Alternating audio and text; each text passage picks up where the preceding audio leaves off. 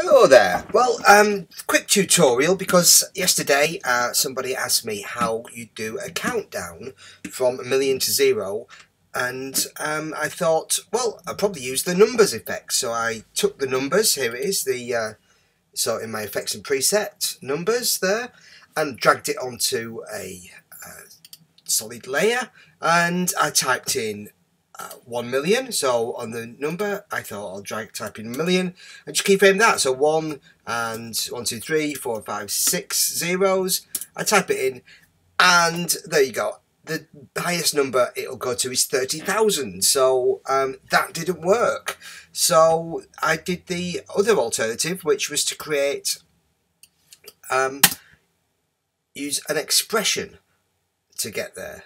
So I use the slider control and a little expression. So how did we do this? So I'll show you how it was done. It's quite simple. So the background's just um, a solid layer with a gradient if you want to create a nice background or anything you want. But let's just create a new composition. Okie dokie. And see for text, let's just put a number in there. Let's put the number one, for example. There you go. And press brightness as well. Well done. And I'm just going to align it up in the center. And uh, I'm just going to make, yep, the text is centered as well. So that uh, that should keep it nicely even as it counts down. Okay, so next I'm going to go to effects and presets here. And type in slider. There we go. And just drop a slider control onto this text.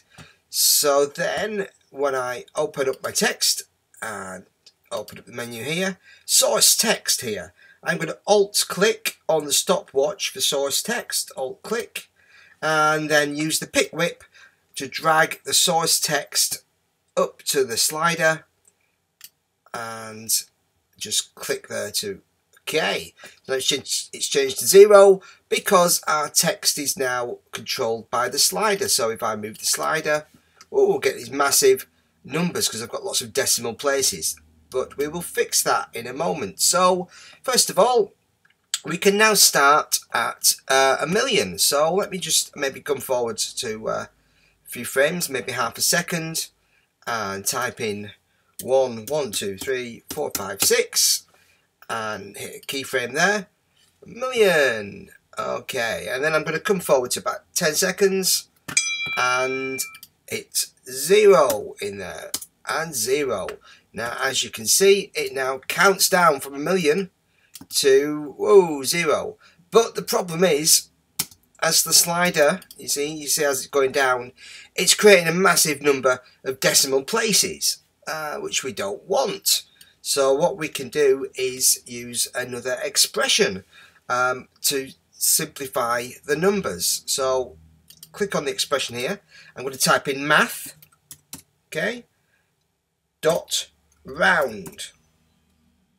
Math dot round, uh, uppercase M or rest lowercase, open brackets, and then just at the end of the expression, a second set of closed brackets. And what this will do, it will round up the numbers. So now they count down from a million to zero nice and evenly. Now the thing is, I, as I play this back, because mil a million is such a big number, by the time it gets to the later numbers, it just goes like the frame before zero. For you know, I, it kind of what I want to do is make it maybe slow down towards the end. So maybe a, about a second. You know, you can just play about with this. Uh, maybe about a second before we get to uh, the zero. I'll maybe have it. Uh, I'll put 50 in, maybe something like that. Oh, there we go. So, so, and then, but then there'll be a big jump here. So what? Maybe come back a second, and maybe change that to maybe uh, a thousand. I'm just playing. Uh, maybe come back, maybe a couple of seconds, and make this number a bit. Uh, maybe make this. Maybe that'll work. There we go. Let's try that and then it, kind of kind of jumps very quickly down from those to a thousand. So maybe I'll make this uh, ten thousand. There we go. So we kind of. Uh,